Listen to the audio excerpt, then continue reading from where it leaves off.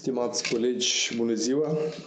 Miercuri, ora 15, desfășurăm ședința Guvernului Republicii Moldova. Rog toți colegii să ia loc.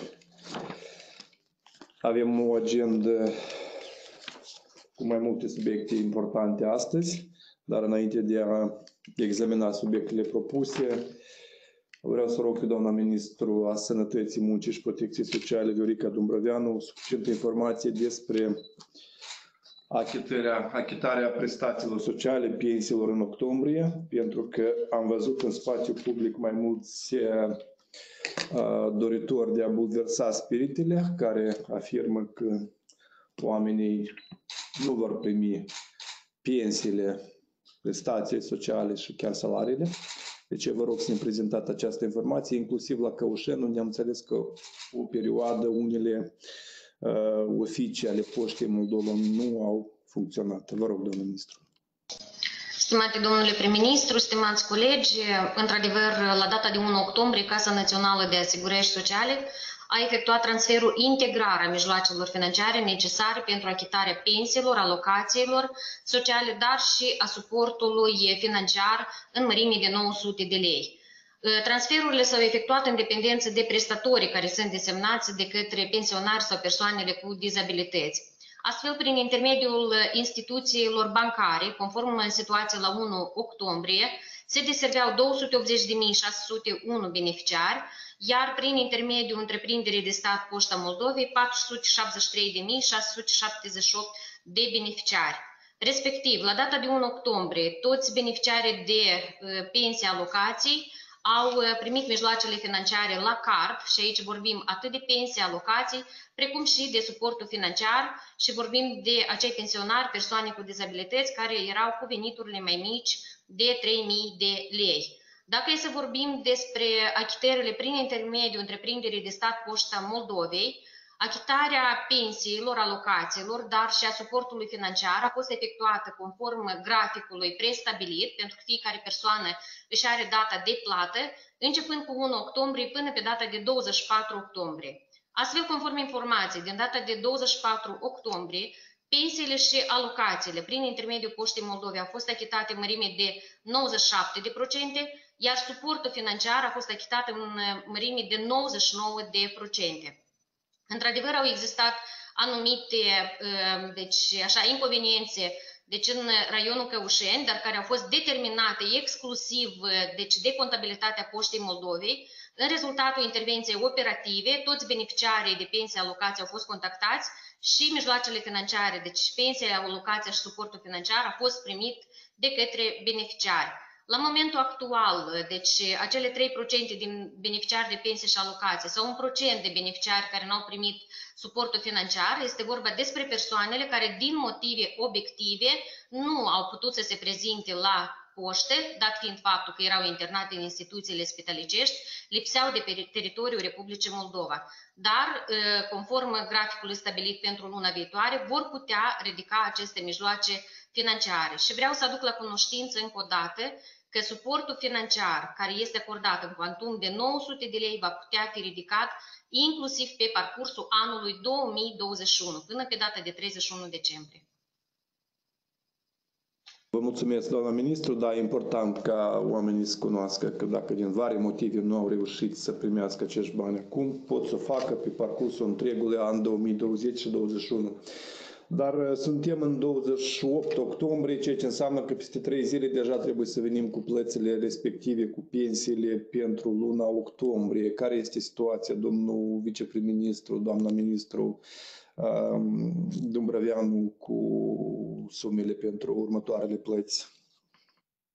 Stimate domn prim-ministru, stimați colegi, începutul lunii tot timpul este marcat de cheltuieli majore pentru sistemul bugetar, care este cauzat de achitarea plăților sociale și salariilor în sectorul bugetar.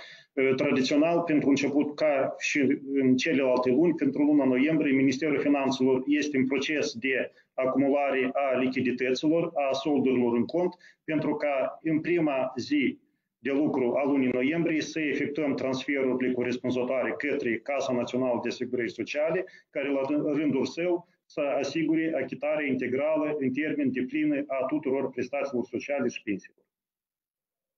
Mulțumesc. Ce avem în contul unic trezorerial pe conturile respective la situația de astăzi, domnul viceprim-ministru?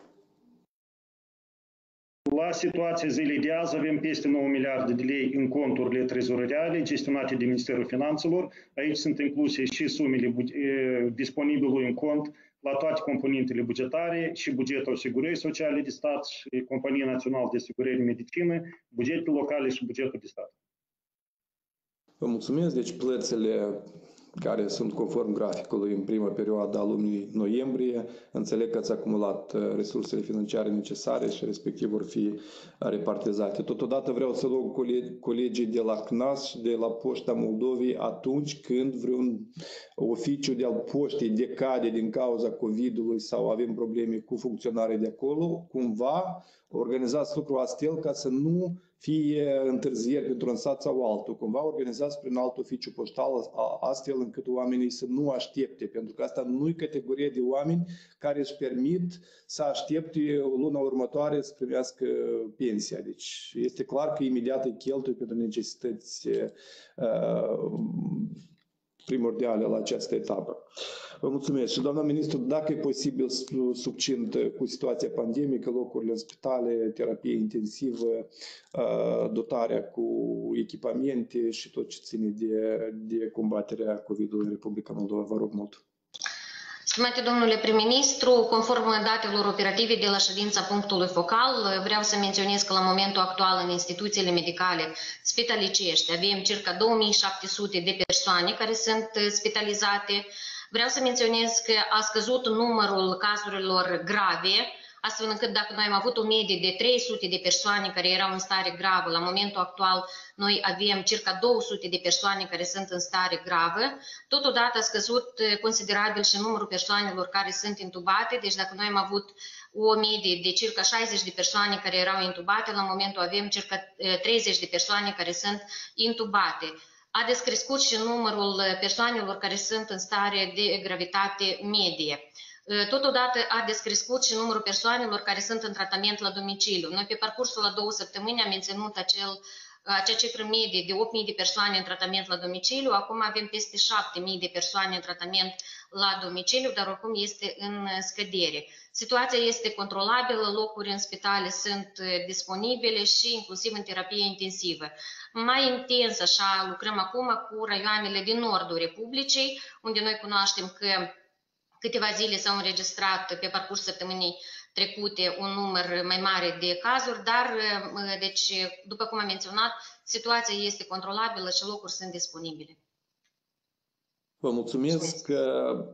Dacă revenim la procesul electoral, 1 noiembrie este ziua alegerilor prezidențiale, dacă Comisia Electorală Centrală a reușit să procure și să ofere măștile, dezinfectanții și tot ce trebuie pentru asigurarea, eu știu, securității epidemiologice, care este situația la zi. Noi am mai vorbit la acest capitol, dar vreau să știu la moment care este situația. Domnule prim-ministru, deci toate echipamentele de protecție personală pentru membrii echipelor CEC au fost procurate, inclusiv au fost procurate măștile de protecție pentru alegătorii care vor veni la alegeri și pe parcursul zilei de ieri și de astăzi au fost deja distribuite și măștile pentru alegători. Deci toate echipamentele de protecție sunt distribuite, toate măsurile de sănătate publică sunt deci se aduc la cunoștință și deja, sigur, un element esențial este implementarea acestor măsuri de către fiecare în parte.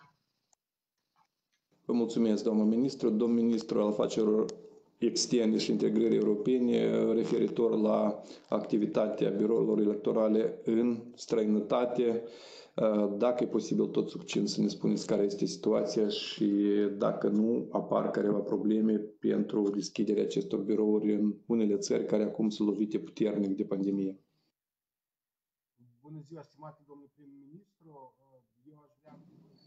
Domnul ministru, vă rog foarte mult să amplificați sunetul, nu vă prea auzim. Sper că acum mă aud mai bine. Da, vreau să, în primul rând, să anunț că întreg rechizitorul electoral, buletin de vot, practic, în toate uh, statele, au fost deja livrate și recepționate, respectiv pe ultima sută de metri vor, vor ajunge la fiecare birou electoral. Doi, este adevărat că în cazul câtorva state avem, atestăm o năsprire a a restricțiilor aplicate de către țări. Este vorba în primul rând de Spania, Franța, Irlanda. Deci în cazul acestor țări, ambasadele acționează în vederea agrierii împreună cu autoritățile acestor state, fie la nivel național, fie la nivel local, formulele prin care cetățenii noștri vor putea să evite restricții de mobilitate în interiorul țării ca să se deplaseze la cea mai apropiată secție de vot, ca să-și poată exercita votul. Uh, formulele care sunt uh, agreate sunt diferite, dar în principiu se referă la uh, posesia unor adeverințe, scrisori, screenshot-uri, fotografii a invitației de a veni și de a participa la, la vot în cadrul secției de votare indicate la o adresă uh, anumită. Deci toate aceste discuții noi le purtăm. Uh, chiar acum în aceste clipe uh, agrem formula care ar fi acceptată de câte autoritățile din Irlanda, pentru că și în Irlanda a fost decretată o situație cu cel mai înalt nivel de restricție, deci până la 1 decembrie. La fel și în Franța, pe o perioadă de 4 săptămâni, Uh, este uh, decretată uh, aceste măsuri de restrictive de circulație pe timp de noapte între orele 21 și, și 6. La fel, la fel și în cazul Spaniei și în cazul statului Israel, dar, repet, în cazul acestor situații mai complicate, agrem formule de compromis care vor fi acceptate astfel ca cetățenii să-și poată exercita dreptul la vot. Noi ne propunem uh, astăzi până în seara, centralizând informații, să transmitem, uh, să transmitem informații către, către CEC, urmând ca joi, vineri să monitorizăm uh, activ evoluțiile pentru a interveni dacă va fi cazul. În paralel, cu siguranță că în cazul infectării unor persoane care sunt și membri ai biroului electorale infectați cu COVID, reacționăm rapid pentru a găsi a găsi persoanele care îi vor înlocui, deci în principiu și la acest capitol probleme nu se atestă. Deci lucrăm în continuare ca să asigurăm, asigurăm cele mai sigure și optime condiții pentru participarea cetățenilor la vot. Mersi. Vă mulțumesc, domnul ministru. După cum ne-am înțeles, vă rog mult vineri să faceți un briefing, o conferință de presă, astfel încât să prezentați cetățenilor ultima informație în legătură cu sau despre disponibilitatea birourilor electorale peste hotare și cetățenii concetățenii noștri de peste hotare să știe unde să meargă în cazul când apare o problemă sau alta.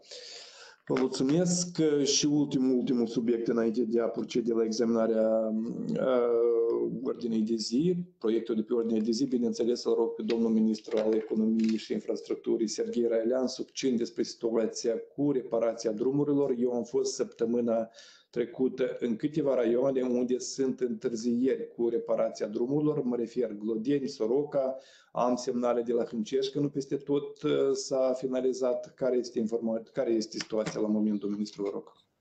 Stimați domnul prim-ministru, stimați colegi, la zi situația, uh, gradul de îndeplinire este 65% a drumurilor bune în proiect, 25 încă sunt în derulare. Sunt trei raioane unde s-a completat 100%. Raionul Glodeni și Hâncești, dat fiind faptul că întreprinderea care a câștigat concursul avea în bagajul sau vreo 3-4 raioane, s-au, s-au terminat în raionul Strășeni, s-au mutat în Hâncești și Glodeni. Mai avem încă până la finele lunii noiembrie, nu avem niciun impediment ca, ca să întârziem, deci o să, să fim în grafic cu reparația drumurilor. Mersi. Mulțumesc, așa și notăm în procesul verbal, dar vă rog foarte mult, eu am avut discuții cu mai mulți primari și ei chiar sunt foarte îngrijorați că nu se va reuși. Deci vă rog foarte mult toate eforturile, remobilizați sau, eu știu, mobilizați mai multe companii ca să finalizeze aceste lucrări. Vă mulțumesc, stimați colegi, propun să procedem la examinarea subiectelor de pe ordinea de zi. La subiectul Cu privire la cadre, vreau să vă rog pe domnul ministru Oleg Țulea să prezinte proiectul. Vă mulțumesc. Mult, stimate domnul prim-ministru, stimați colegi, în conformitate cu prevederea articolului 10 alineatul 7 din legea numărul 761 cu privire la serviciul diplomatic, se prezintă pentru examinare și aprobare propunerea Ministerului Afacerilor Externe și Integrării Europene privind numirea domnului Anatol Statulat în funcție de consul general al Republicii Moldova în orașul Barcelona, regatul Spaniei. Domnul Anatol Statulat activează în serviciul diplomatic al Republicii Moldova din anul 1993.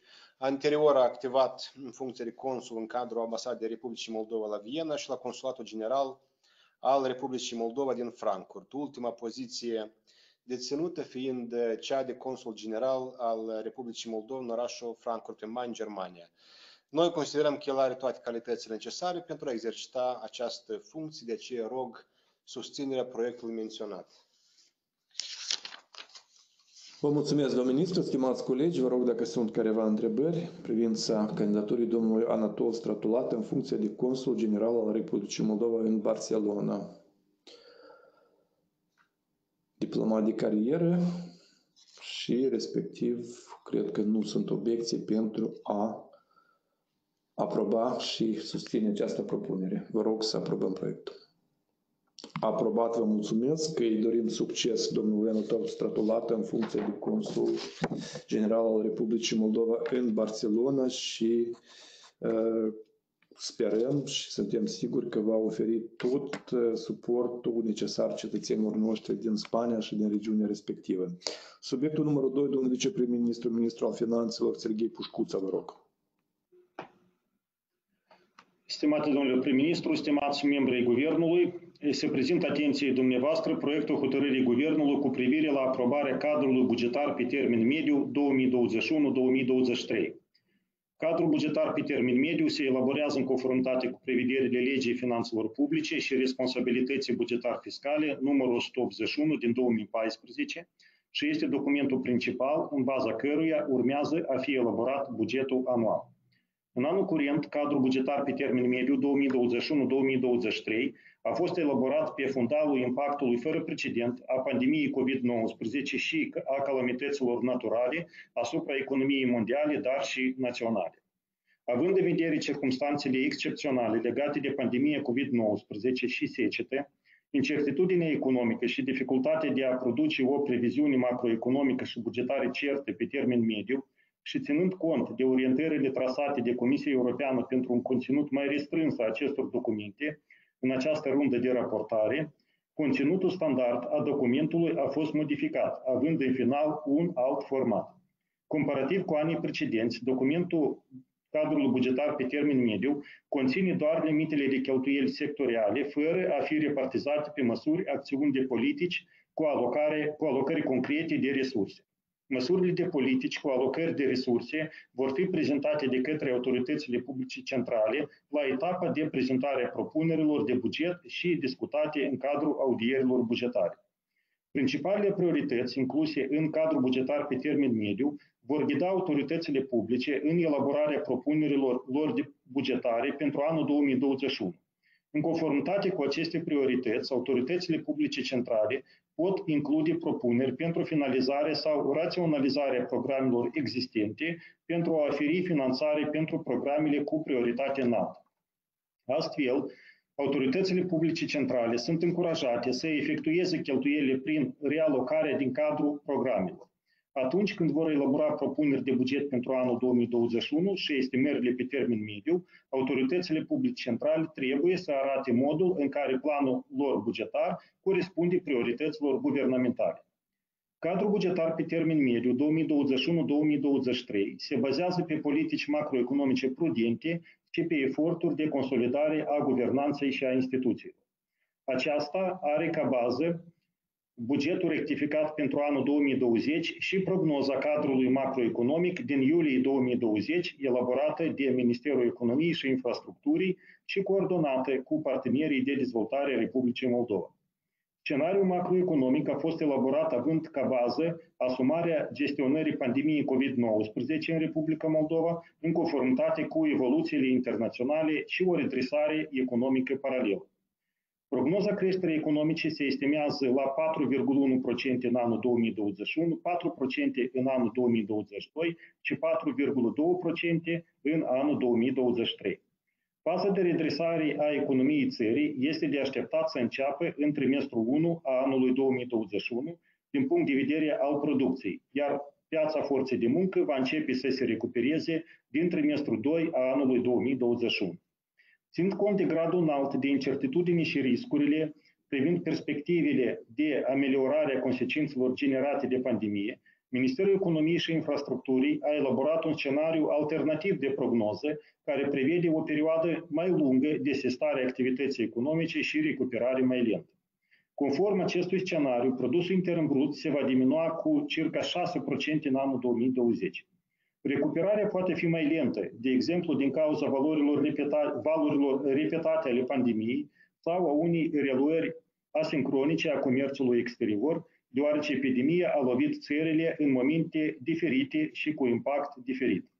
Astfel, în cazul materializării acestor riscuri, prognoza prezentată poate fi supusă revizuirii adiționale, în special în scopurile elaborării proiectului bugetului pe anul 2021. Agregatele bugetare pentru perioada 2021-2023, incluse în scenariul de bază, confirmă faptul că Republica Moldova se află în continuă redresare, dar încă în, într-un cadru bugetar fiscal foarte constrâns. Astfel, până în anul 2023, veniturile bugetare vor fi în creștere față de anul 2020 cu 29,3% și vor constitui circa 29,8% din produsul intern brut. Majorarea veniturilor va fi susținută din contul măsurilor consolidării fiscale și vamale și restabilirii economice după recesiunea anului 2020. Se anticipează că cheltuielile bugetare pe termen mediu să se stabilizeze după pandemie COVID-19 și să revină treptat la nivelul de creștere istorică. În conformitate cu scenariul de bază, cheltuielile publice până în anul 2023 vor fi în creștere față de anul 2020 cu 13,4% și vor constitui 32,9% în produsul intern brut. Pe măsura redresării situației și consolidării treptate a situației bugetar fiscale, se va asigura spațiu pentru cheltuielile ce favorizează creșterea economică, susținerea prin reforme bugetar fiscale și structurale. Ca rezultat, se preconizează că ținta deficitului bugetului ca pondere în produsul intern brut în anul 2021 să fie mai mică față de anul 2020, cu reducere treptată în fiecare an ulterior. Pentru atingerea acestor obiective se vor realiza reforme bugetar fiscale, instituționale, structurale, extrem de necesare în vederea consolidării politicilor și administrării fiscale, eficientizării cheltuielilor, îmbunătățirii managementului investițiilor publice, și sporirii transparenței bugetar fiscale.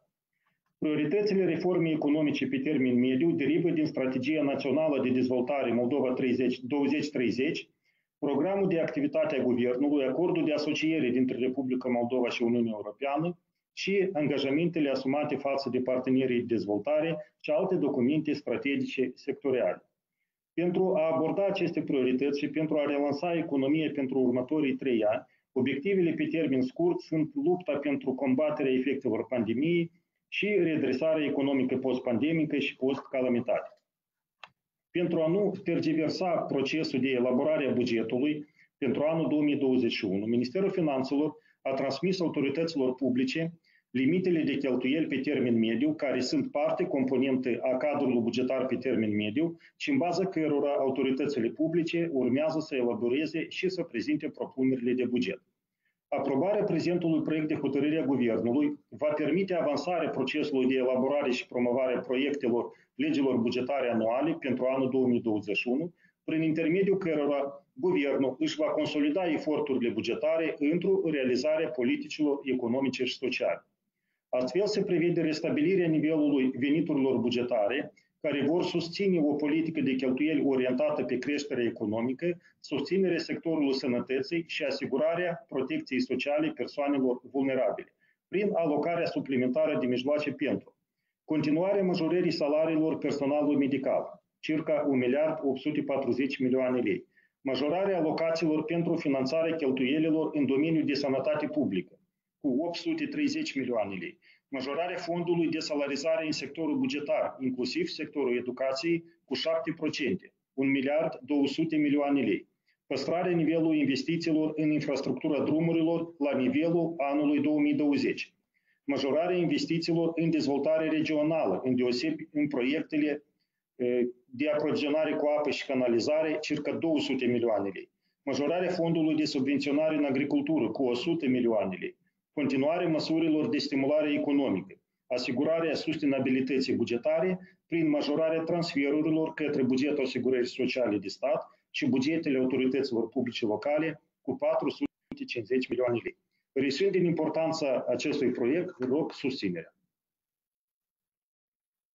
Vă mulțumesc, domnule viceprim-ministru, stimați colegi. Bineînțeles, toate instituțiile, ministerele au participat la elaborarea acestui document. Cadrul bugetar pe termen mediu este un produs comun, dar oricum, dacă sunt careva întrebări, opinii, sugestii, vă rog să vă expuneți.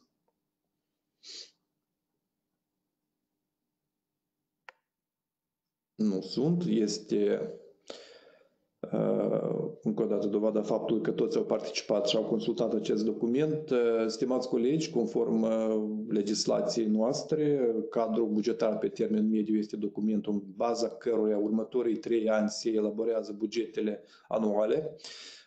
Respectiv, venim cu acest document să-l aprobăm în guvern, deși suntem conștienți de faptul că Considerând realitățile, evoluțiile fulminante ale situației, putem avea unele, un, un grad oarecare de scepticism în privința relevanței documentului pe toți trei ani pe care acoperă acest document.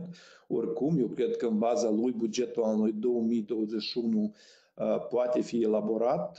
Într-adevăr, Ministerul Finanțelor a remis la tuturor instituțiilor limitele de cheltuieli și respectiv noi trebuie să mergem cu elaborarea acestui buget. Ce este important de uh, subliniat din ceea ce a menționat și domnul viceprim-ministru este faptul că pentru anul viitor, uh, considerând obiectivul nostru de re stabilire, de, de revenire la situația normală a economiei post-pandemică, este necesar de continuat politicile noastre de susținere a economiei prin diferite acțiuni care au fost lansate în acest an. Vreau să informez că noi am avut aseară o discuție cu misiunea Fondului Monetar Internațional și pe parcursul ultimelor zile am agreat de principiu parametrii bugetari pentru anul viitor.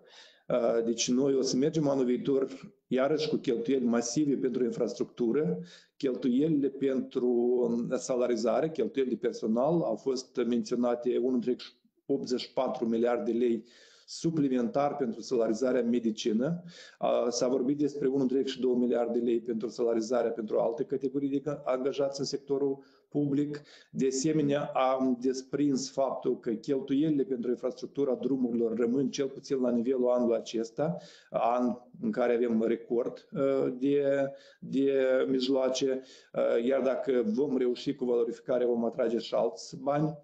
Important este momentul că pe lângă cei 300 de milioane pe care îi avem tradițional în fiecare an la Fondul Ecologic Național, Ministerul Finanțelor vine cu propunere pentru anul viitor să mai adăugăm 200 de milioane pentru apă și canalizare. Noi am avut, stimați colegi, domnul ministru Pierju, mai multe întrevederi cu primarii din câteva raioane în ultimele două săptămâni, dar practic cu toată țara pe parcursul acestor luni. Problema aprovizionării cu apă este foarte importantă, de aceea toate solicitările înaintate pe parcursul anilor la Fondul Ecologic Național trebuie să fie finanțate anul viitor, fie din fond, fie din, din aceste mijloace suplimentare. Avem pornite mai multe apeducte și uh, nu toate, din păcate, este clară perspectiva. De ce, cum, ne-am, cum am agreat în cadrul întrevederilor cu primarii, imediat de la 1 ianuarie, considerând alocările respective de finanță, să finanțăm aceste obiective. Ați observat probabil și cifra de 830 de milioane de lei care va fi suplimentar pentru sistemul de medicină pentru măsurile antiepidemice care vor fi, deci va crește transferurile la CNAM, dar și uh, alte sume suplimentare pentru investiții, uh, inclusiv transferul pentru autoritățile publice locale. Important este să menționăm că uh, vom păstra anul viitor acele alocații financiare pentru autoritățile publice locale de nivelul 1, dar după cum am mai spus, ei trebuie să decidă fie continuă cu drumurile, fie orientează acel un milion sau cât le, cât le revine conform formulei uh, unei localități sau alta pentru prioritățile care le consideră ei mai uh, primordiale.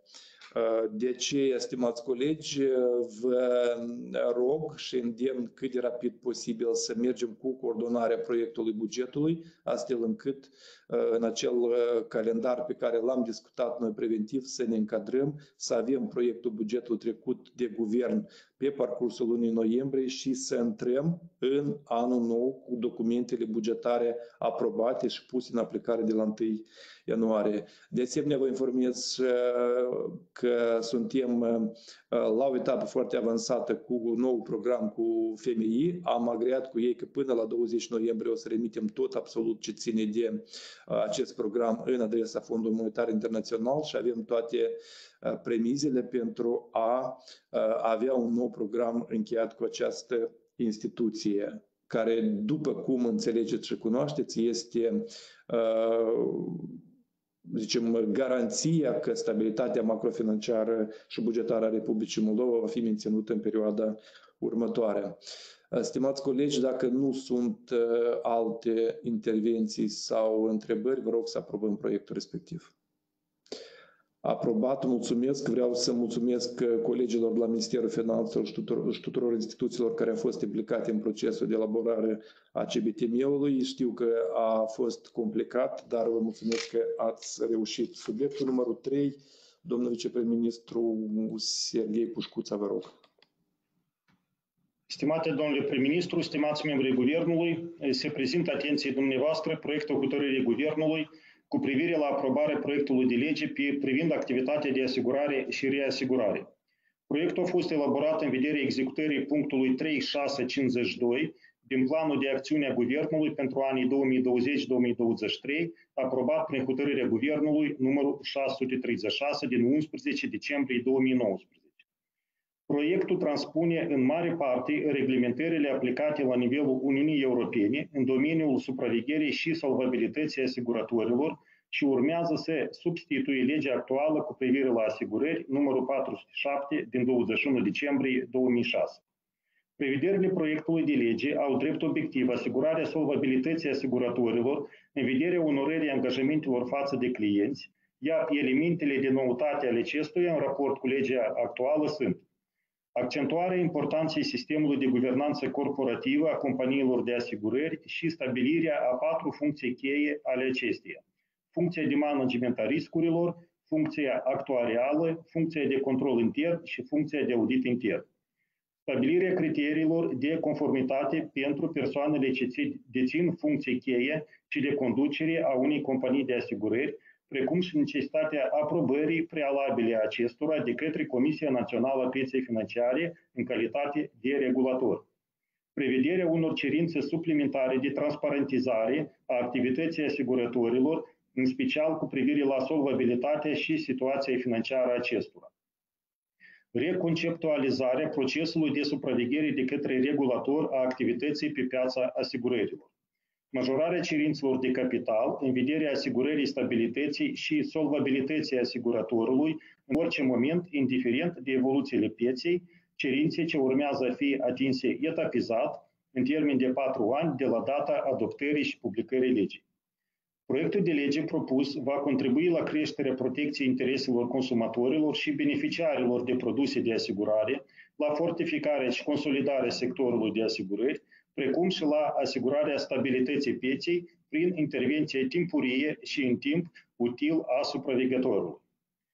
Implementarea proiectului nu necesită alocarea mijloacelor financiare din bugetul de stat. Proiectul a fost supus consultării, avizării și expertizării de către autoritățile interesate în modul stabilit de legislație. Obiecțiile și propunerea acestora au fost luate în considerare la definitivarea proiectului. Rog acceptarea proiectului. Vă mulțumesc, domnule viceprim-ministru. Stimați colegi, vă rog dacă sunt întrebări la acest proiect, scopul căruia este consolidarea sectorului de asigurări și pregătirea pieței pentru solvabilitate 2.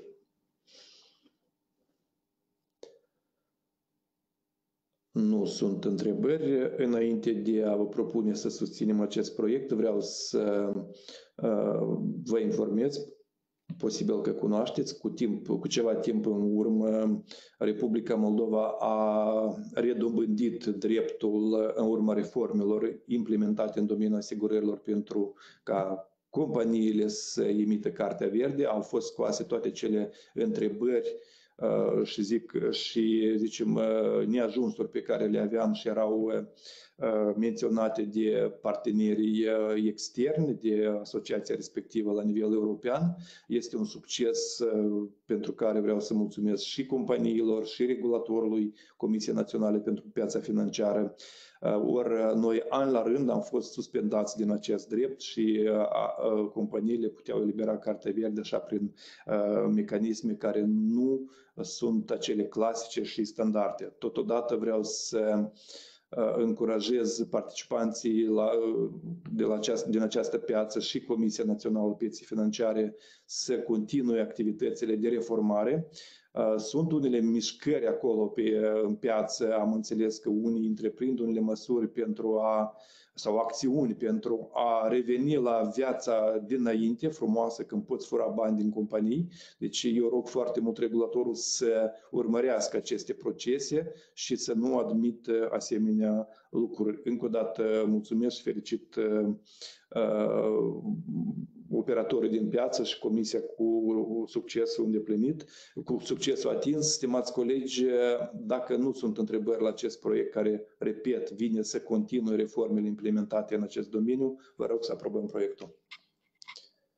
Aprobat, vă mulțumesc. Subiectul numărul 4, vă rog continuați, domnule viceprim-ministru Serghei Pușcuța.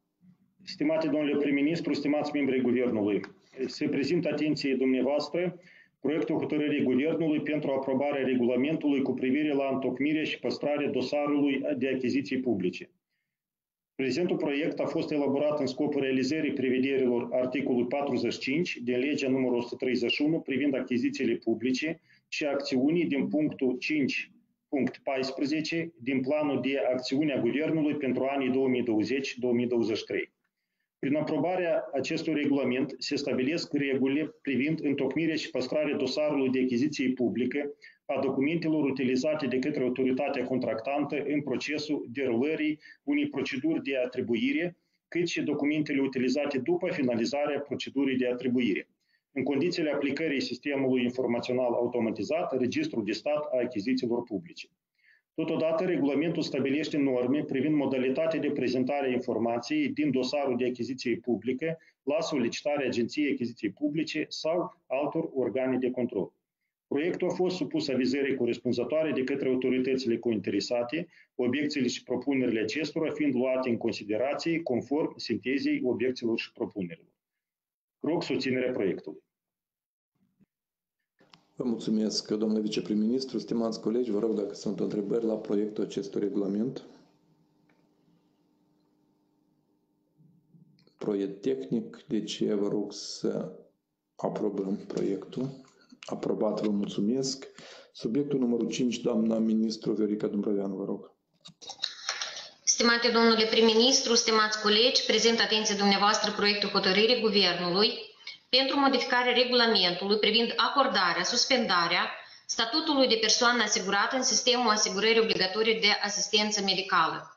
Proiectul hotărârii în cauză a fost elaborat în contextul ajustării conținutului regulamentului menționat la prevederile legii numărul 36 din 2020 pentru modificarea articolului 4 din legea 1585 cu privire la asigurarea obligatorie de asistență medicală. Astfel, regulamentul a fost completat cu prevederi referitor la acordarea statutului de persoană asigurată părintelui, inclusiv adoptiv, care exercită în mod efectiv creștere și educarea patru și mai mulți copii, pentru perioada în care cel puțin un copil atinge vârsta majoratului de 18 ani.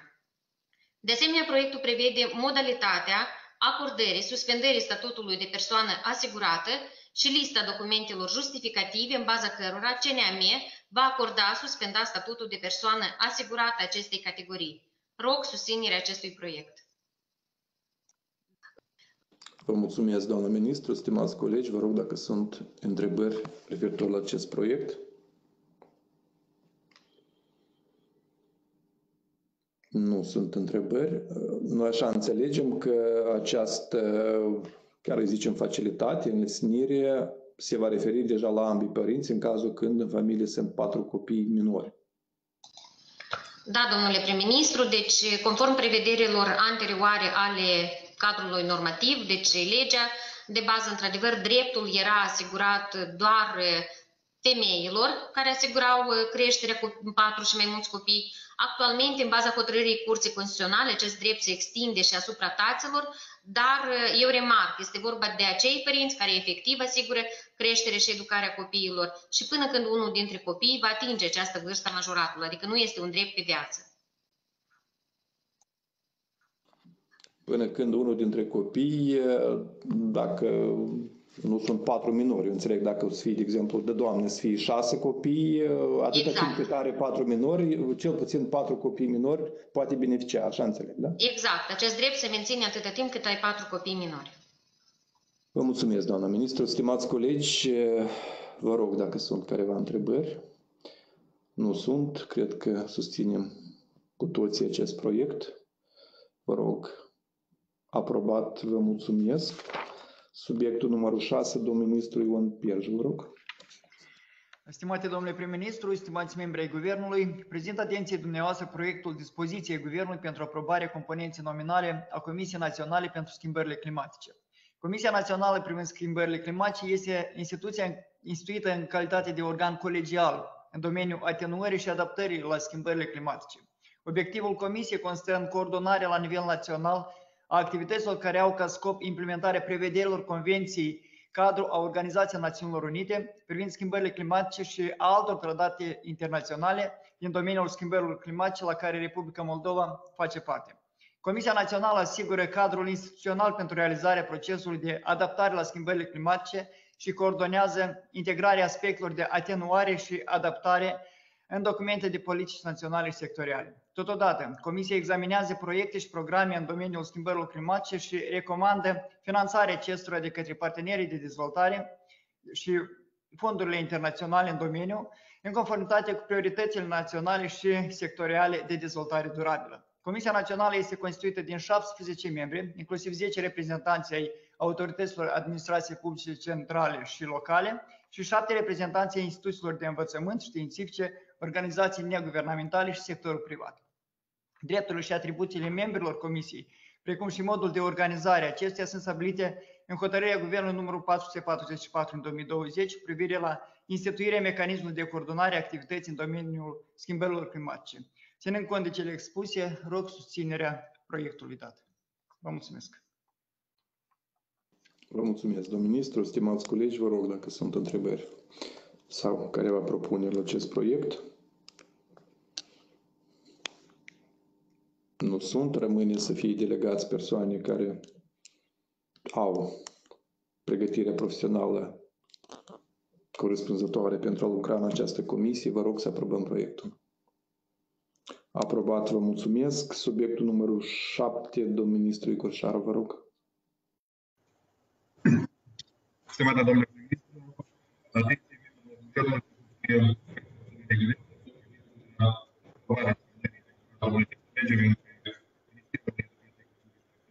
Domnul ministru, îmi cer scuze, sunt careva deficiențe în tehnice. Vă rog să mai încercați o dată.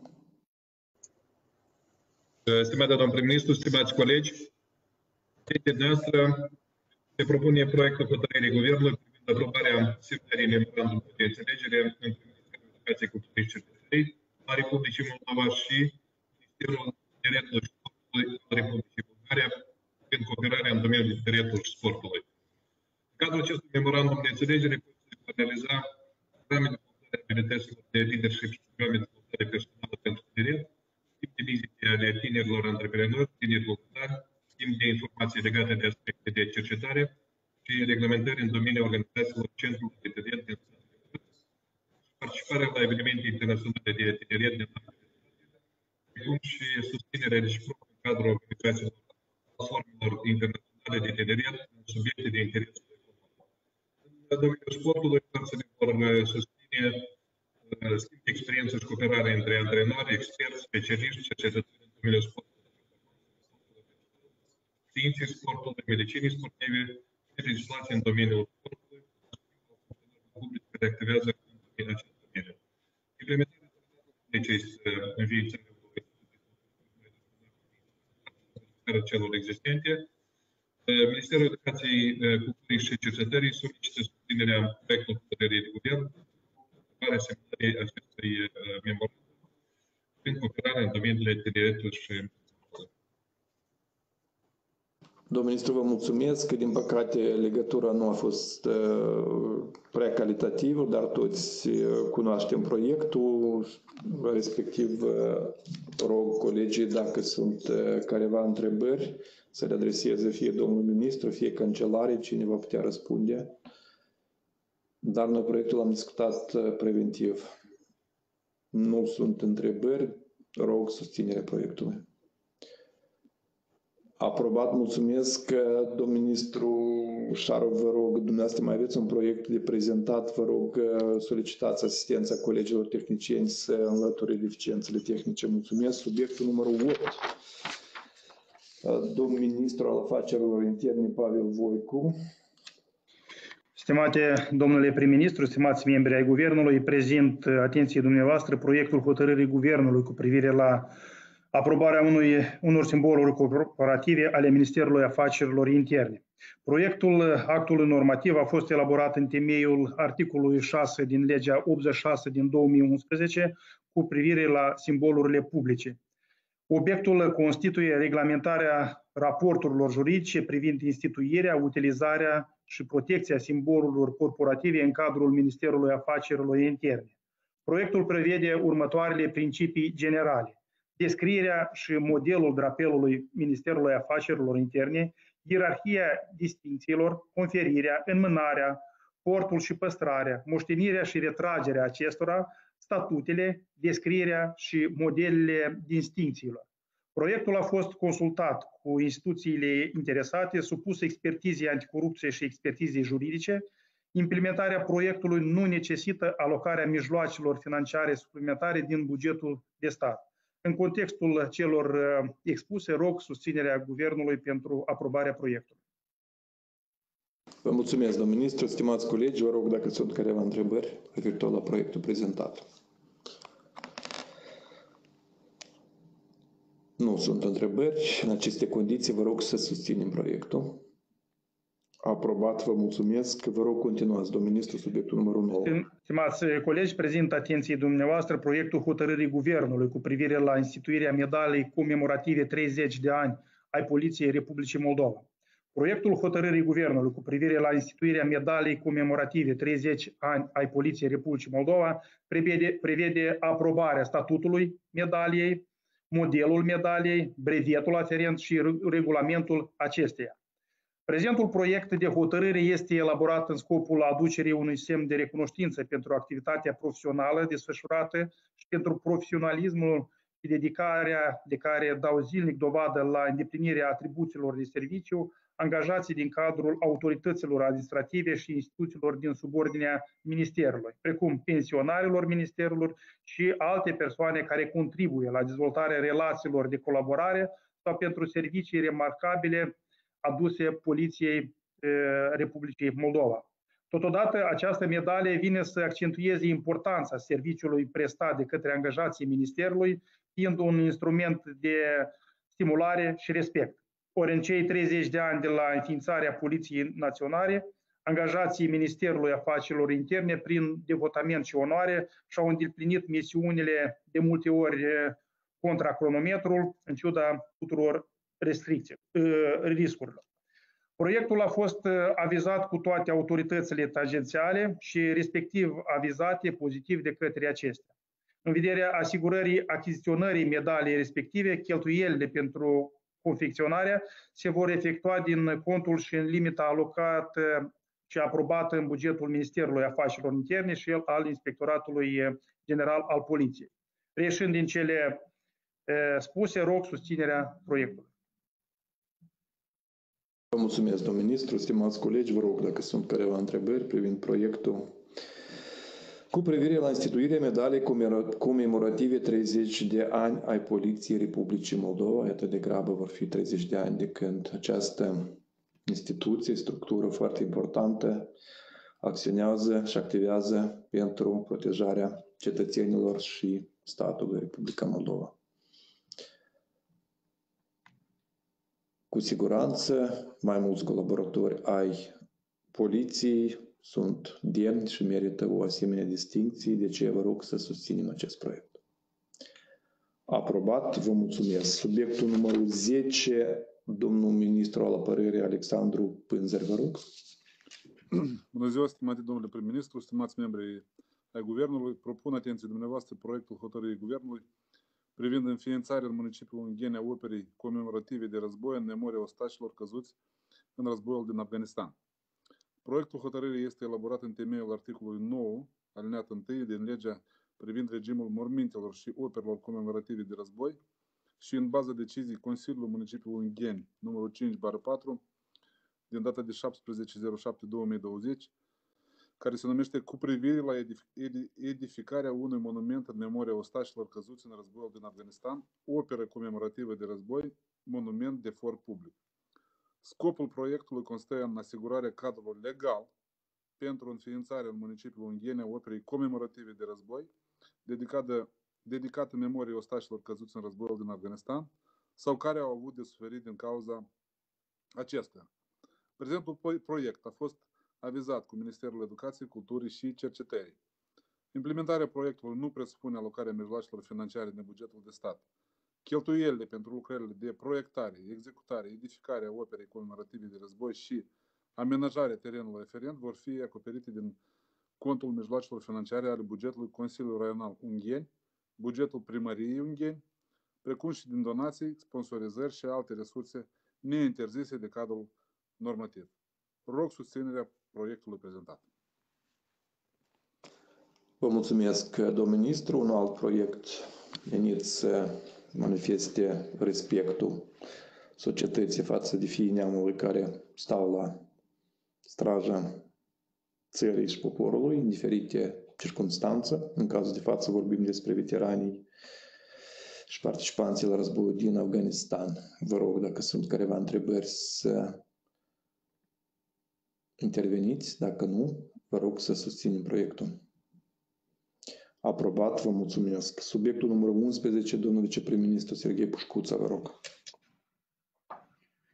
Stimate domnule prim-ministru, stimați membrii Guvernului, se prezintă atenției dumneavoastră proiectul hotărârii Guvernului pentru aprobarea avizului la proiectul de lege cu privire la importul unor bunuri înaintat cu titlul de inițiativă legislativă de către un grup de deputați. Potrivit notei informative, proiectul de lege prevede importul materialului lemnos de către Asociația Obștească Lărgenii de Pretutindeni cu scutire de plata drepturilor de import cu scopul donării acestora către comunitatea religioasă Biserica cu Hramul Sfânta Triimii din Comuna Larga, raionul Briceni. Proiectul de lege stabilește derogări de la regula generală și favorizează o anumită categorie de subiecti de drept în raport cu alți subiecti aflați într-o situație juridică similară și care se conformează legislației naționale prin prisma achitării drepturilor de import. Astfel, adoptarea unei legi derogatorii va crea un precedent periculos pentru ordinea juridică a Republicii Moldova și, prin urmare, oricare persoană juridică de drept privat sau public care se va afla în situații similare ar putea solicita facilități de aceeași natură, iar în caz de refuz se va considera ca fiind supusă unui tratament discriminatoriu. Subliniem că acceptarea frecventă de la normele legislației în vigoare nu reprezintă un remediu oportun pentru susținerea anumitor subiecti, aceasta având în același timp și un efect negativ asupra bugetului public național. În contextul celor expuse se propune adoptarea avizului negativ la proiectul de lege respectiv. Vă mulțumesc, domnule viceprim-ministru, stimați colegi, dacă sunt careva întrebări la acest proiect, referitor la acest proiect. Vreau să vă spun că pe parcurs, după ce a fost înaintată această inițiativă, mai mulți participanți, ctitori la acest lăcaș și-au exprimat uh, disponibilitatea de a achita ei acele taxe, astfel încât să nu, nu fie necesar de promovat acest proiect. Deci noi facem, venim cu doar cu formalitate, uh, antreprenorii și oamenii de bună credință vor uh, acoperi toate cheltuielile necesare pentru edificarea acestui lăcaș sfânt. Vă rog să susținem proiectul. Aprobat, vă mulțumesc. Subiectul numărul 12, doamna ministru Viorica Dumbrăveanu, vă rog. Stimate domnule prim-ministru, stimați colegi, prezent atenția dumneavoastră proiectul hotărârii Guvernului privind aprobarea vizului asupra proiectului hotărârii Parlamentului privind acordarea unor plăți unice lucrătorilor din sfera protecției sociale a populației cu ocazia zilei profesionale. Proiect care este înaintat cu titlul de inițiativă legislativă. De fapt, scopul acestui proiect, conform notei informative a autorului, constă în acordarea unor plăți unice, în cuantumul și în condițiile stabilite de guvern, tuturor angajaților din sfera protecției sociale a populației, care au o vechime muncă în domeniul vizat egală sau mai mare cu 10 ani de la data adoptării prezentei hotărâri. Menționăm că Guvernul susține necesitatea consolidării măsurilor de motivare a lucrătorilor din domeniul protecției sociale, însă inițiativa înaintată nu poate fi susținută din următoarele considerente. În primul rând, nu este definit clar subiectul acestei inițiative, ori noțiunea de lucrător din sfera protecției sociale este una largă, care înglobează în sine funcționari din diferite structuri, inclusiv și din autoritățile centrale din subordinea guvernului. Totodată, în condițiile articolul 21 din legea 270 privind sistemul unitar de salarizare în sectorul bugetar, Personalul din unitățile bugetare poate beneficia de premii unice cu prilejul sărbătorilor profesionale și a zilelor de sărbătoare nelucrătoare care ă, plătesc din contul economiei mijloacelor alocate pentru retribuirea muncii pentru anul respectiv. Ă, vreau să mai aduc la cunoștință că modificările care sunt înaintate de către autor, prin derogare de la prevederile legii prenotate, vor asigura în condițiile respective distorsionarea sistemului unitar de salarizare în sectorul bugetar, dar și vor condiționa o inichitate în privința altor grupuri de personal care cad sub incidența legii vizate.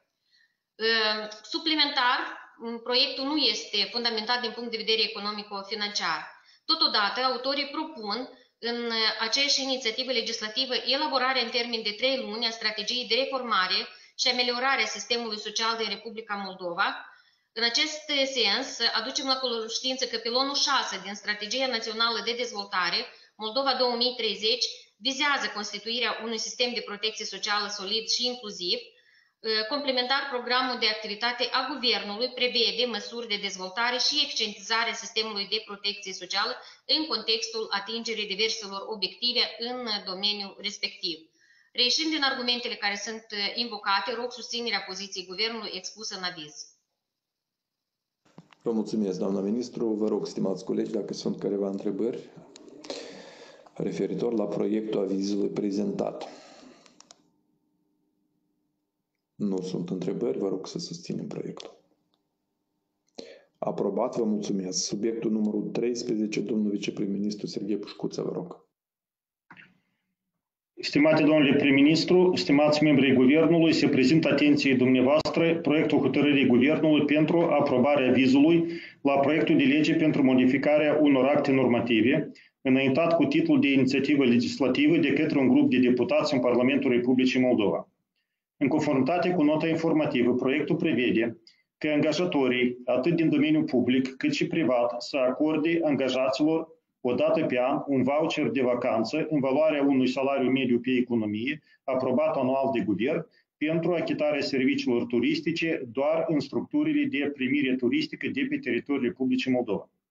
Urmarea examinării propunerilor înaintate, menționăm că începând cu luna aprilie a anului 2020, au fost adoptate măsuri de politică fiscală și vamală orientate spre susținerea mediului de afaceri în contextul situației epidemiologice existente la nivel național. Precum instituirea programului de subvenționare a plăților pentru șomaș tehnic și staționare forțată, instituirea program, programului de subvenționare a dobânzilor bancare, instituirea programului de rambursare a taxei pe valoare adăugată, reducerea cotei taxei pe valoare adăugată pentru sectorul Horica de la 20 la 15%.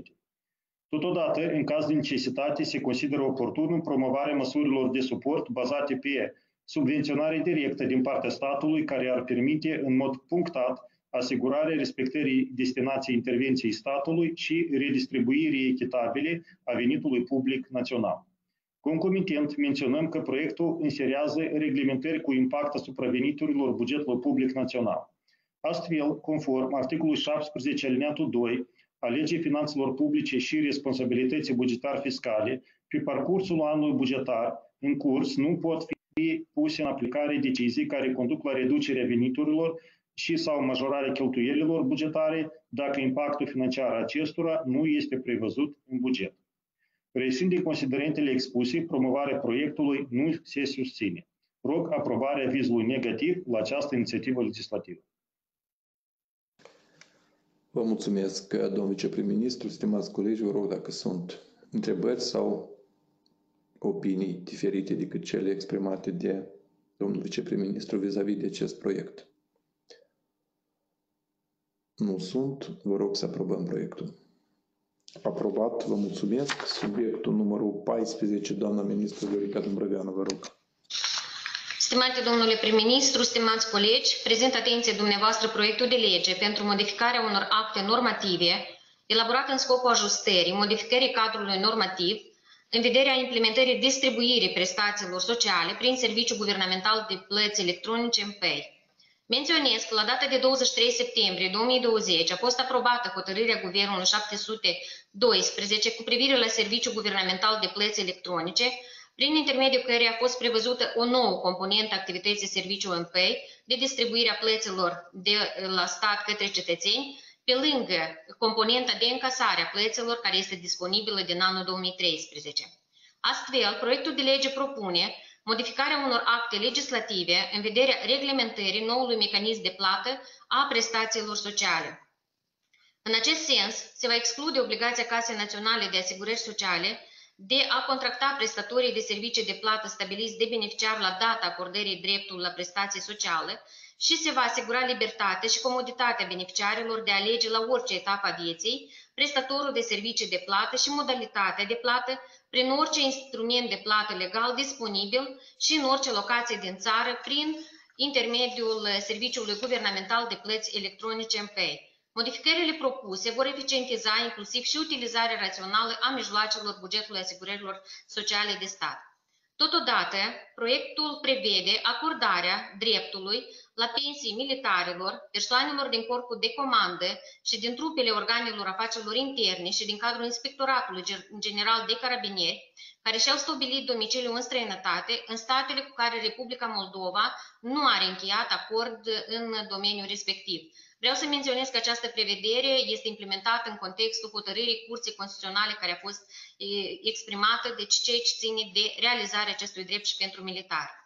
De asemenea, proiectul înaintat propune excluderea condiționalității privind acordarea alocației lunare de stat, conform legii cu privire la protecția socială suplimentară a unor categorii de populație, militarilor, care au îndeplinit serviciu prin contract persoanelor din corpul de comandă și din trupele organelor afacerilor interne, precum și funcționarilor publici cu statut special din sistemul administrației penitenciare, care au luat parte la acțiunile de luptă în timp de pace, în cazurile în care au beneficiat de majorarea pensiei pentru vechime muncă cu 135 de lei. Subiectul vizat este litigiu uh, și în mai multe instanțe de judecată și în baza hotărârilor instanțelor de judecată militare și stabilesc dreptul la alocația socială prevăzută de legea 121, de ce în condițiile date excludem uh, aspectul de condiționalitate, totodată această propunere a fost înaintată de către mai multe asociații ale veteranilor.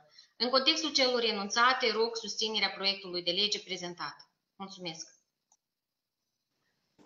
Vă mulțumesc, doamnă ministru, stimați colegi, vă rog dacă sunt întrebări sau intervenții legate de acest proiect. Noi l-am discutat preventiv și nu cred că avem vreun motiv să nu susținem. De ce vă rog să aprobăm proiectul prezentat. Aprobat, vă mulțumesc. Subiectul numărul 15, domnul ministru Igor Șarov, vă rog. Stimate domnul ministru, vreau să verific dacă au fost înlăturate deficiențele. Se aude acum bine? Mersi, perfect acum. Da, vă mulțumesc. Stimate domnul prim-ministru, stimați colegi, propun atenției noastră proiectul de modificare a hotărârii Guvernului cu privire la modul de finanțare din bugetul de stat a proiectelor culturale desfășurate de organizațiile non-comerciale. Actualul regulament a fost adoptat prin hotărâre de guvern numărul 503 în 2019, în condițiile în care precedentul regulament din 2014 avea multiple carențe funcționare, sesizate atât de Ministerul Educației, Culturii și Cercetării, cât și de reprezentanții mediului asociativ care au participat pe parcursul anilor la concursul anual de proiecte culturale organizate de Minister. În urma organizării sesiunii de proiecte pentru anul 2020 au fost observate anumite probleme în legătură cu funcționarea noului regulament, fiind necesare unele modificări și completări cu care venim. Principalele elemente de bunătățire ar fi întomistuirea unei corelații matematice între punctajul acumulat de la un proiect și suma alocată de către minister, în cazul în care proiectul este finanțat. În acest mod se vor exclude situații absurde cu care Ministerul s-a confruntat în cadrul concursului de proiecte în anul curent, în așa fel unele proiecte alcătuite cu lăcune și cu poziții de finanțare neeligibile ar fi trebuit să primească 100% din suma solicitată. Tot în acest mod estimăm creșterea numărului de proiecte care vor putea finanțate cu aproximativ 20-25%. O altă noutate ar fi eliminarea arei tematice proiecte de tip festival, care a creat multiple neclarități pentru aplicanți și evaluarea posibilității de punerii unui așa același proiect la mai multe arii tematice. Completarea proiectului cu o normă care prevede faptul că în cadrul proiectelor nu pot finanțate proiecte editoriale de producție cinematografică, având în vedere faptul că Ministerul Educației, Culturii și Cercetării organizează anual două concursuri separate pentru proiecte editoriale și respectiv de producție cinematografică prin intermediul Centrului Național de Cinematografie. Menționăm că proiectul a fost avizat de către instituțiile interesate, recomandările cărora au fost luate în considerație. În acest context, reșind argumentele evocate, rog susținerea acestui proiect. Vă mulțumesc, domnul ministru. Stimați colegi, vă rog dacă avem careva întrebări referitor la proiectul prezentat să vă expuneți. Dacă nu, vă rog să susținem proiectul prezentat de domnul ministru Șarov. Aprobat, vă mulțumesc. Subiectul numărul 16, domnul ministru Fadei Năgăcevski, vă rog. Stimate domnule prim-ministru, stimați colegi, propun spre examinare proiectul de lege pentru aprobarea strategiei pentru asigurarea independenței și integrității în sectorul justiției pentru anii 2021-2024 și planul de acțiuni pentru implementarea acestuia. Stimați colegi, îmbunătățirea sectorului justiției a fost și rămâne o prioritate majoră pentru Republica Moldova și constituie o condiție esențială pentru dezvoltarea cu adevărat a unei societăți democratice. Modul în care este înfăptuită justiția influențează direct coordonatele fundamentale de funcționare a societății, securitatea juridică și dezvoltarea economică. Este regretabil că până în prezent în sistemul judiciar rămâne a fi afectat de probleme structurale și funcționale, de lipsă de integritate, probleme cu impact major asupra calității actului de justiție și gradul de satisfacție a cetățenilor în legătură cu performanța sistemului judiciar. Proiectul strategiei cuprinde o abordare strategică și sistemică a obiectivelor aferente problemelor existente cu stabilirea instrumentelor de soluționare și a impactului așteptat.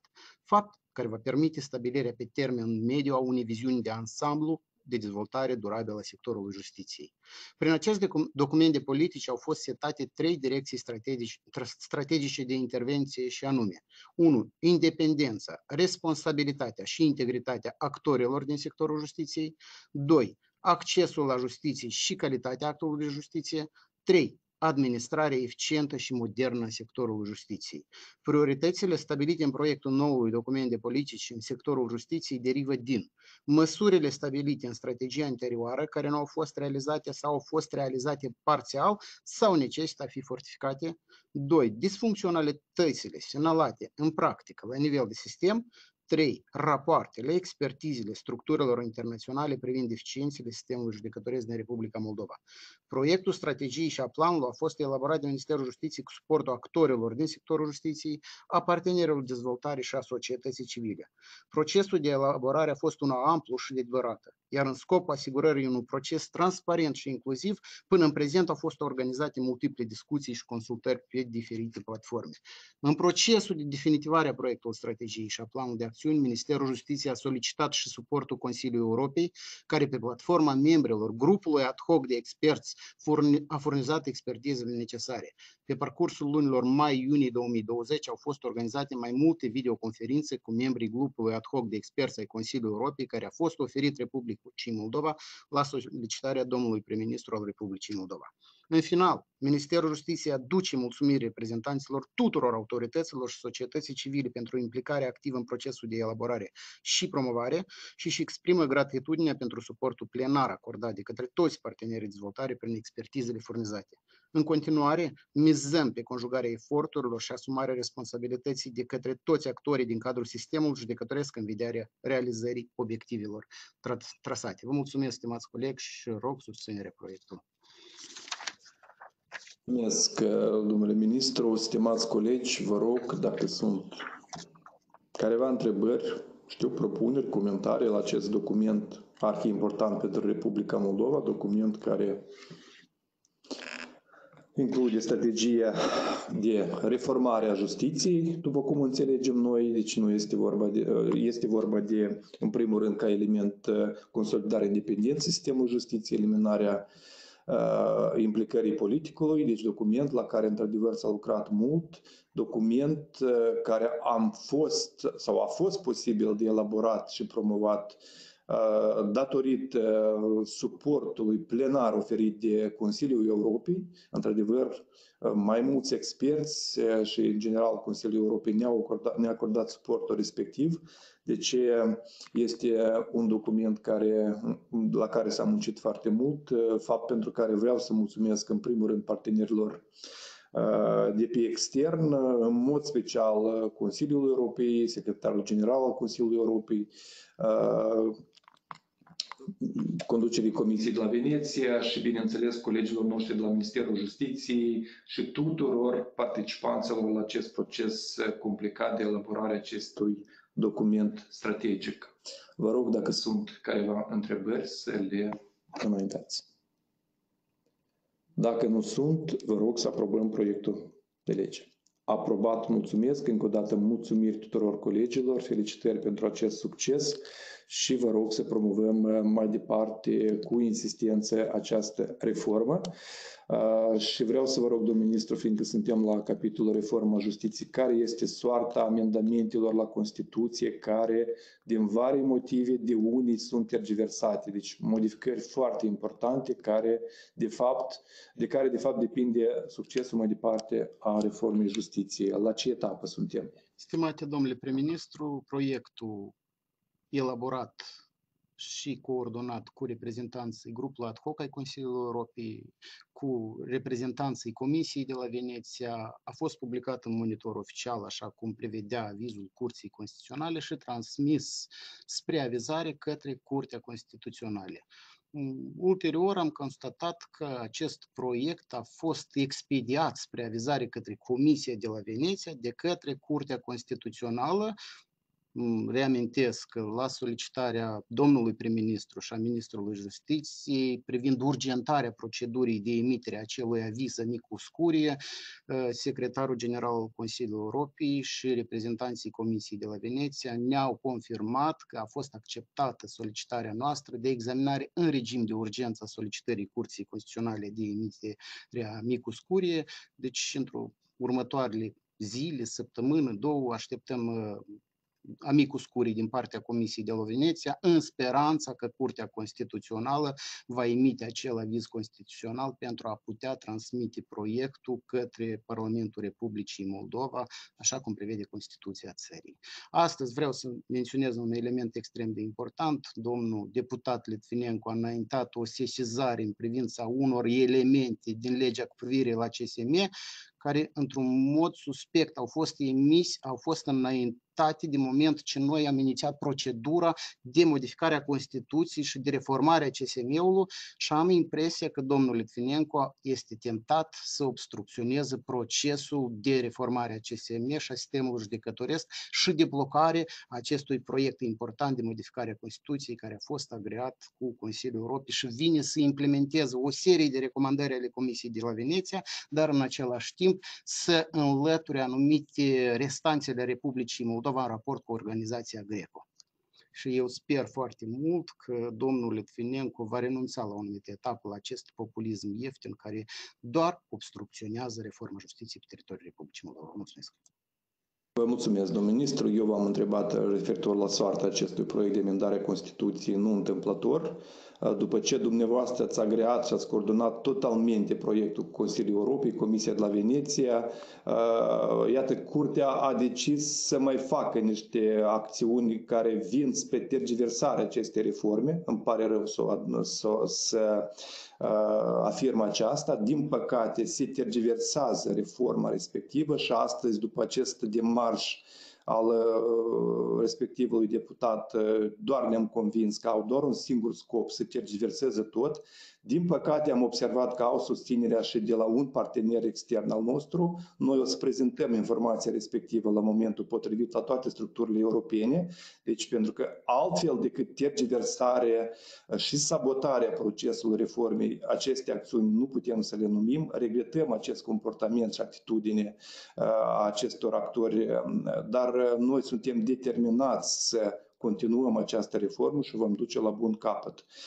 Stimați colegi, vă mulțumesc încă o dată că am audiat acest proiect și am aprobat proiectul strategiei de reformare. Subiectul numărul 17, domnul ministru Ion Pierșu, vă rog. Stimate domnule prim-ministru, stimați colegi, se prezintă spre aprobare proiectul hotărârii Guvernului pentru modificarea hotărârii Guvernului numărul 582 din 2020 pentru aprobarea modului de acordare a compensațiilor pentru diminuarea consecințelor calamităților naturale supra recoltei anului 2020. Stimați colegi, în procesul de implementare a prevederilor regulamentului privind stabilirea modului de acordare a compensațiilor pentru diminuarea consecințelor calamităților naturale asupra recoltei anului curent, aprobat prin hotărârea Guvernului numărul 582, s-a constatat că unii producători agricoli din motive obiective, dar și erori a reprezentanților din cadrul uh, autorităților publice locale de nivelul 1 și 2 nu au putut beneficia de compensații. Urmarea corectării și generalizării informației în teritoriu și transmiterea acestora către minister, au fost totalizate informații suplimentare pe întreg teritoriul țării, referitoare la suprafețe afectate de secetă și grindine. Erorile constau în transcripție incorrectă de numirea agenților economici, neincluderea unor agenți economici în informații prezentate de apeleuri, pentru raportul totalizator, dar și erori mai minuscule. Regulamentul menționat nu va suferi modificări esențiale nu vor uh, afecta mecanismul de acordare a compensațiilor, nu se va modifica cotele sau limitele pentru compensații pe culturi și unități de, de suprafață. Ca urmare, aproximativ 250 de agenții economici suplimentari vor uh, putea beneficia de aceste compensații. Uh, totodată, suma totală pentru compensații va fi crescută încă cu 24 de milioane, astfel suma totală va ajunge la 324 de de milioane de lei care vor fi alocate din Fondul Național pentru dezvoltarea agriculturii și mediului rural. În contextul celor menționate, rog susținerea proiectului dat. Vă mulțumesc. Vă mulțumesc, domnul ministru, stimați colegi, vă rog dacă sunt careva întrebări la acest proiect.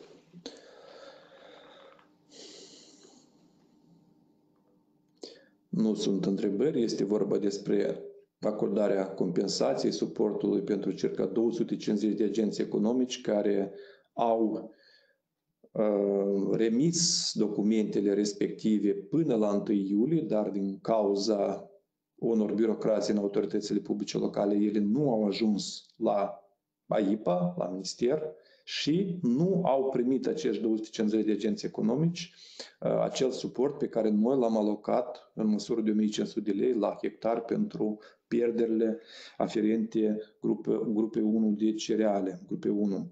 Respectiv, uh, trebuie să înlăturăm această inichitate și să acordăm acest suport. Uh, proiectul respectiv asta are de scop anume acest lucru, de ce vă rog să aprobăm proiectul. Aprobat, vă mulțumesc. Domnul ministru, vă rog, împreună cu AIPA trebuie de organizat lucrurile astea încât acești agenți economici să primească banii respectivi în timpul cel mai apropiat. Subiectul numărul 18, domnul viceprim-ministru Serghei Pușcuța, vă rog.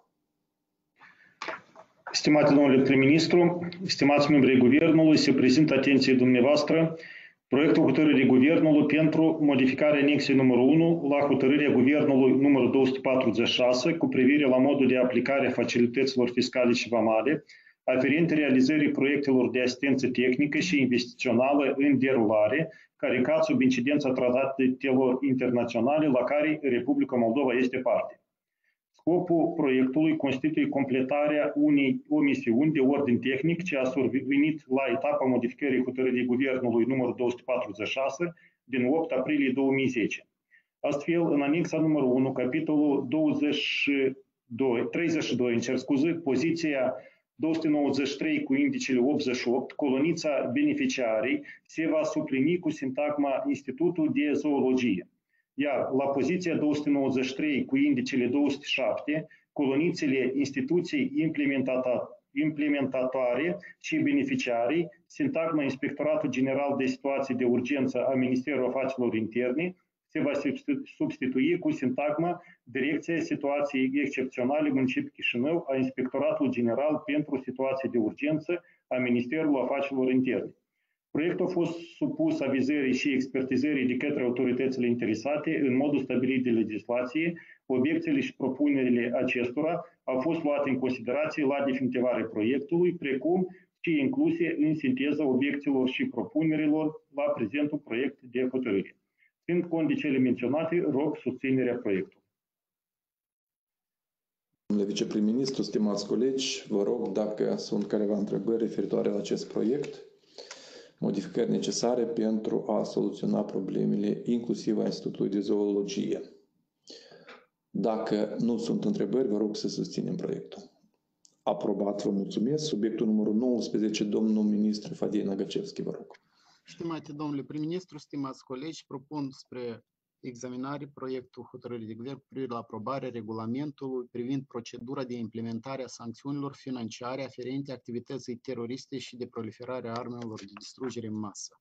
Regulamentul privind procedura de implementare a sancțiunilor financiare aferente terori- activității teroriste, teroriste și de proliferare a armelor de distrugere în masă reglementează modalitatea de punere în aplicare a sancțiunilor financiare în privința persoanelor, grupurilor sau entităților implicate în activități teroriste și de proliferarea armelor de distrugere în masă. Stabilește procedura de desemnare și excluderea persoanelor, grupurilor și entităților desemnate în, din lista consolidată a persoanelor, grupurilor și entităților implicate în activități teroriste și de proliferarea armelor de distrugere în masă determină competența și atribuțiile autorităților cu competență în domeniu și stabilește cadrul general de implementare a sancțiunilor financiare. Aici este de remarcat că în măsura în care nu sunt reglementate de prezentul regula, regulament anumite elemente, regula, rezoluțiile Consiliului de Securitate ale Organizației Națiunilor Unite numărul 1267, 1988, 1989, 2253, 1373, 1718 și 2231 și rezoluțiile lor succesive, precum și alte acte conexe în domeniul sancțiunilor financiare aferente activității teroriste și de proliferare armelor de distrugere în masă, sunt direct aplicabile. Entitățile care sunt implicate în acest proces sunt Serviciul Informației și Securitate, Serviciul Prevenire și Combaterea Spălării banilor, Ministerul Afacerilor, Afacerilor de Externe și Integrării Europene. În continuare, stimați colegi, acest proiect este important uh, pentru serviciu pentru prevenirea și combaterea spălării banilor, fiind și o condiționalitate, o obligație internațională a Republicii Moldova. Rog susținerea proiectului. Vă mulțumesc. Vă mulțumesc, domnul ministru, stimați colegi, într-adevăr un document foarte important care, la care ați lucrat mult. Știu că s-a discutat în diferite iterații și uh, sub diferite aspecte, de ce vă rog dacă sunt întrebări, instituțiile care au fost nominalizate de către domnul ministru, nu mai sunt întrebări, nu mai sunt obiecții, respectiv vă rog să susținem proiectul. Aprobat, vă mulțumesc. Stimați colegi, mai avem un proiect numărul 20, domnul viceprim-ministru Serghei Pușcuța, vă rog. Stimate domnule prim-ministru, stimați membrii Guvernului, se prezintă atenției dumneavoastră proiectul hotărârii Guvernului cu privire la inițierea negocierilor și aprobarea semnării proiectului acordului dintre Ministerul Finanțelor a Republicii Moldova și Ministerul Finanțelor al Federației Rusie privind acordarea asistenței financiare nerambursabile Guvernului Republicii Moldova. Acordul are drept scop acordarea asistenței financiare nerambursabile Guvernului Republicii Moldova în valoare de 275 milioane ruble rusești pentru susținerea producătorilor agricoli din Republica Moldova. Termenul de valabilitate a acordului este de până la 31 decembrie 2021. Actualitatea acordului rezidă în necesitatea susținerii financiare urgente a producătorilor agricoli din Republica Moldova, care au suferit în cursul anului 2020 din cauza secetei severe, ploilor torențiale însoțite de grindină și altor fenomene nefaste, precum pandemia de COVID-19 și altele. Proiectul a fost supus avizării și expertizării de către autoritățile interesate în modul stabilit de legislație, iar obiecțiile și propunerile acestora au fost luate în considerație la definitivarea proiectului, precum și incluse în sinteza obiecțiilor și propunerilor la prezentul proiect de hotărâre. Ținând cont de cele menționate, rog susținerea proiectului. Vă mulțumesc, domnule viceprim-ministru, stimați colegi, vă rog dacă sunt întrebări asupra acestui proiect.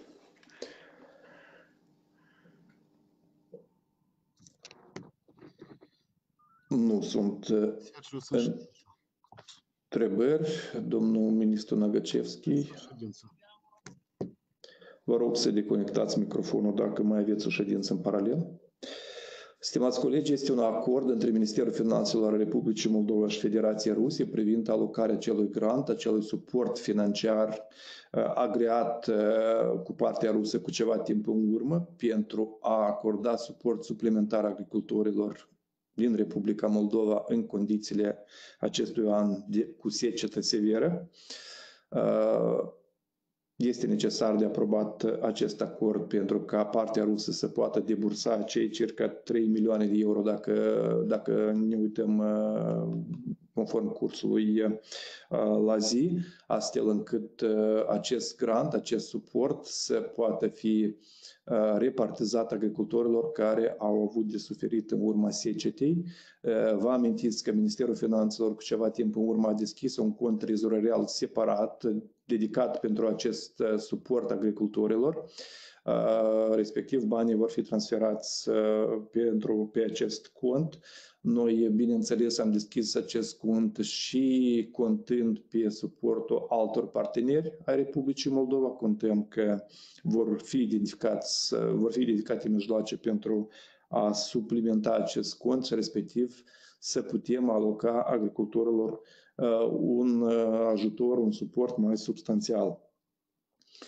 Vreau cu această ocazie să mulțumesc partenerilor noștri din Federația Rusă că au acceptat adresarea noastră, solicitarea noastră. Înțelegem că este o primă tranșă de, din acest suport și, bineînțeles, venim cu asigurările că acești bani vor fi utilizați conform destinației, vor fi repartizați celor agricultori care au avut de suferit în urma secetei. Stimați colegi, vă rog dacă sunt întrebări la acest proiect să domnul ministru agriculturii la acest capitol.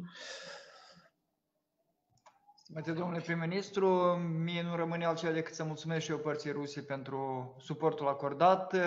Noi avem deja un draft al regulamentului pentru repartizarea acestor mijloace financiare, îndată ce ajung pe contul Agenției de Intervenție și Plăți pentru Agricultură, ei vor fi repartizați deja pentru producătorii care au suferit, în special pentru care au suferit pentru culturile de grupa a doua, să spunem așa. Îndată ce avem regulamentul finalizat, îl vom coordona cu toate ministerii interesate și îl vom propune spre aprobare Guvernului. Vă mulțumesc că vă rog acest proiect la regulamentul de repartizare a acestor mijloace financiare și a altor eventuale care vor veni pe acest cont să fie rapid promovat, trebuie să-l aprobăm rapid, astfel încât banii să ajungă fără întârziere la agricultori. Stimați colegi, dacă nu sunt întrebări, vă rog să aprobăm acest acord, acest proiect. Aprobat, vă mulțumesc. Stimați colegi, acestea au fost subiectele incluse pe ordine de zi a ședinței de astăzi. Nu încheiem ședința înainte de a menționa două aspecte importante. În primul rând, după cum, după cum am mai menționat și după cum cunoașteți cu toții, duminică pe 1 noiembrie avem uh, alegerile prezidențiale în Republica Moldova. Guvernul, instituțiile, dar în primul rând Comisia Electorală Centrală au depus toate eforturile pentru a organiza aceste alegeri în mod democratic, liber, astfel încât cetățenii Republicii Moldova să poată participa la acest exercițiu, să-și poată exprima uh, opțiunea de vot. Bineînțeles, exercițiul nu s-a finalizat, instituțiile statului implicate în proces uh, trebuie să asigure uh, desfășurarea alegerilor conform celor mai înalte standarde și aici mă refer inclusiv și la Ministerul Afacerilor Interne care trebuie să asigure protecția cetățenilor și ordinea publică. Vă rog să trageți atenție, deja în spațiu public sunt unii irresponsabili politici care încearcă deja să blocheze unele birouri electorale. Domnul ministru, vă rog cu toate, toate competențele oferite de legislație să acționați prompt ori niciun cetățean al Republicii Moldova nu trebuie, nu trebuie, nu trebuie să îi se uh, îngrădească dreptul la uh, vot. Uh, de asemenea, după cum am vorbit și cu concetățenilor noștri peste hotare, trebuie să fie asigurat acest drept. Totodată vreau să fac un apel și un demn către cetățenii Republicii Moldova să se prezinte pe 1 noiembrie, duminică, la votare, pentru că este un eveniment foarte important, o acțiune foarte importantă pentru viitorul Republicii Moldova. Vă, vreau să menționez faptul că există un prag pentru care prezența este obligatorie pentru turul întâi, deci ca alegerile să fie declarate valabile pentru turul întâi, trebuie să ne prezentăm minimum o treime din alegători incluși pe liste, deci vă rog foarte mult să participăm la alegeri. Nu trebuie să admitem repetarea turului întâi, pentru că aceasta va însemna o perpetuare a instabilității, o amânare pe mai departe a soluționării mai multor probleme, o amânare pe mai departe a aprobării bugetelor pentru anul viitor, a programului cu Fondul Monetar Internațional și a altor documente foarte, foarte importante. Noi trebuie să finalizăm procesul electoral cel târziu la 15 noiembrie, de ce vă rog foarte mult și vă îndemn să participăm la 1 noiembrie la alegeri, să uh, ne, ne onorăm datoria civică pe care o avem față de statul nostru. La rândul nostru am făcut toate am întreprins toate acțiunile ca să asigurăm securitatea uh, sanitară epidemiologică în birourile respective, s-au procurat măști, s-au procurat echipamentele respective, materiale dezinfectante și tot ce este necesar ca astfel încât în aceste birouri să nu fie pericol de contaminare și toți noi să plecăm sănătoși de acolo de unde venim să ne exercităm dreptul la vot. Uh, vă mulțumesc încă o dată pentru manifestarea înaltului spirit civic pe 1 noiembrie 2020. 20. Și alt uh, subiect, stimați colegi, mai festiv, uh, pe data de 30 octombrie, adică poi mâine, Radio Național împlinește frumoasa aniversare de 90 de ani, uh, fiindcă din cauza pandemiei nu putem organiza evenimentul festiv așa cum ne-am dorit. Va fi, va fi manifestație foarte restrânsă, organizată de Radio Național. Eu vreau și cred că voi exprima opinia întreaga Guvernul Republicii Moldova și a angajaților din autoritățile publice centrale. Vreau să felicit Teleradio, deci Radio Național a Republicii Moldova cu această aniversare frumoasă, să le mulțumim pentru modul cum informează societatea, pentru modul cum educă societatea, deci este unul din puținele, uh, din păcate, surse media care au rămas la acele standarde înalte pe care ne le dorim. Uh, dorim tuturor colaboratorilor sănătate și mari succese în continuare. Și, bineînțeles, le mulțumim din numele iarăși tuturor colegilor pentru faptul că în fiecare sâmbătă dimineața la 6 ne găzduiesc și ne permit să uh, discutăm cu cetățenii Republicii Moldova, să uh, luăm întrebări de la cetățeni și în măsura posibilității o să le răspundem. La mulți ani, uh, Radio Național al Republicii Moldova, sănătate colaboratorilor uh, Radio Moldova. Stimați colegi, acesta a fost uh, ultimul subiect pe care am vrut să-l uh, menționez. Dacă nu mai sunt întrebări, ședința de astăzi este finalizată. Vă mulțumesc. Sănătate tuturor!